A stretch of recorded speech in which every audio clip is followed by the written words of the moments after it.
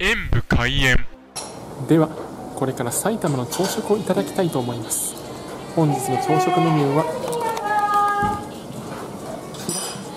いかにも和食といった風なメニューが揃ってますね。体にも優しくて美味しそうです。ではいただきます。パソコンおよびスマートフォンのアプリの方はクリックをお願いします。